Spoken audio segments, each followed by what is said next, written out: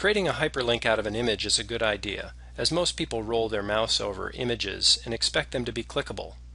In this case, a link hasn't been set up yet, but it does have a tooltip such that when you roll your mouse over the image, it lets you know what that image is.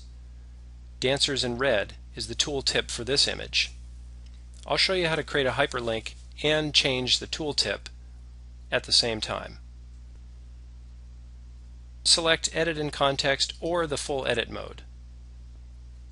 Next, select the image, and you'll notice the edit points appear around the perimeter and any padding that has been put in by the text wrapping tool.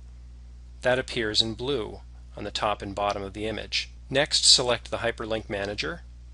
Key in a URL address if you know where you want to link to, or select the Browse button and look for the quick link to the page that you want to link to. Use the library folder tree to look for the page that you want to link to. In this case, we'll link to the Brotherhood page, which happens to be sponsoring this youth group event. Select it, click on Insert, or double click. The URL address for the Brotherhood page is put into place. You can set the target to the same window.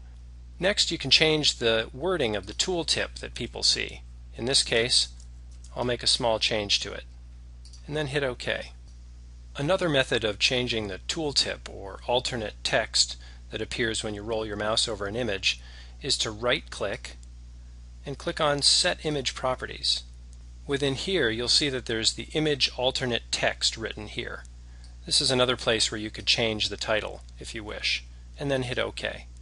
When finished, hit Save. Now when I roll my mouse over the image, you'll see that I'll be able to click on it and it'll take me to the Brotherhood page. Next we'll learn how to upload new images to the system and to crop and modify them.